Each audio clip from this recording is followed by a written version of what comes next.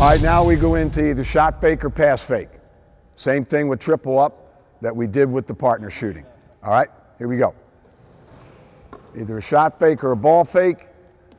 And what we like to do is we like to have the passer also make a fake. Passer and shooter make a fake. Good. Good ball fake. Either ball fakes or shot fakes. Good. Way to get in position. Try to get the defense to bite. Good job. Excellent. Good passes, good release. Really helps to develop that uh, belief in your teammate because each guy's got to do their job in this shooting drill.